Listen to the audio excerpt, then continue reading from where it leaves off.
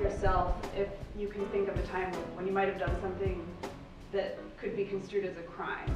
Just, I'll give you five seconds to do that. Please raise your hand when you think of something. Okay, so I, there are some, there are many things that we may have or could have done that might be criminal in some place, right? So all these kinds of examples that everyone brought up that are mostly sort of fun to think about, sort of cute, deviant things. Um, there's also stuff like using encryption. Encryption is illegal in a number of countries. Um, there are all kinds of blasphemy laws, laws against insulting Islam, and insulting the king um, in certain countries. So I want to talk to you about Ethiopia right now. Um, so I work for Global Voices, which I, I think everybody knows is this huge international network of bloggers and writers and activists all over the world.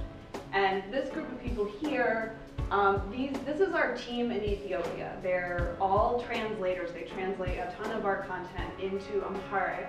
Um, and they also run their own blogging collective themselves, and they're called the Zone 9 um, bloggers. And they have been writing about social and political issues for a few years, and because internet penetration in Ethiopia is so low, they actually started holding informal sessions where they would talk about civil liberties, um, particularly voting rights and what the Constitution says in Ethiopia, which is something that a lot of people don't actually know about.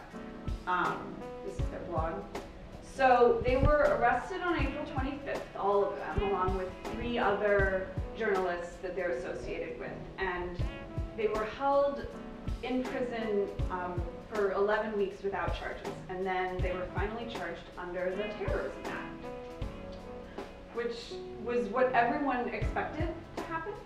Um, but it's kind of uh, it's kind of an amazing story, I think, and something that I've been I have had no choice but to think about this since this happened because this is the largest number of people from our community who've ever been arrested in one incident. So instead of sort of doing like deep thinking about this issue, this law developing here, or that tech problem there, I just was sort of had no choice but to be deeply in this. Um, so here, the, the security forces searched their homes, confiscated all of their computers, uh, mobile phones, etc., and oh, and went into all their accounts, of course, and picked through.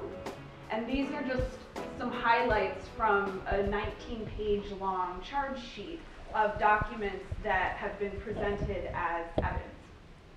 Um, all the kinds of documents that I, some of us surely have looked at these too, security in the box. Um, documentation that sounds pretty, pretty sort of standard kind of thing that you might find on a computer in the Document Center.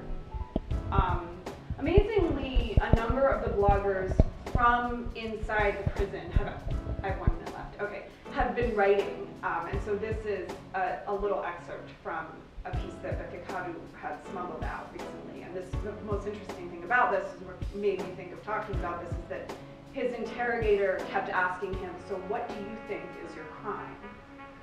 And it was kind of fascinating because he was like, I don't, you know, I don't think I committed a crime. I've done every, they've done everything under their real name. They, they're trying to get people to understand the Constitution. Um, so I have one minute left, so I'm just going to sort of speed along. We've done a bunch of public campaign work on this. We've done a bunch of sort of back channel political stuff, worked with legal support, try, you know, doing all these things to try to figure out how can we change the situation, help these people. And the thing that I wanted to put to this group today is like, what, I don't want to be isolated in this anymore. I think there is a, I have an incredible sort of sense of um, sympathy from people in other parts of the tech community about the issue, but they don't, it's sort of like, wow, I'm sorry you have to deal with that.